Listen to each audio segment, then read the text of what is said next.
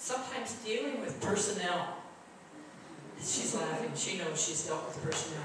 Dealing with personnel can be difficult. You have to be very diplomatic. Even though I said to the, to one doctor, I said, Sam, I'm using another name, Sam, remember that this is mission, mission medicine.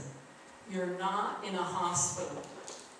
Well, he still thought he was in a hospital, so where, why aren't you giving this medication, he says to the, and he, he would bring, you know, compound medications that you don't give, you know, uh, to patients that never had a medicine, say for, for diabetes or hypertension. You don't give these high-cost meds, you know, you give some generic, which doesn't have the complications.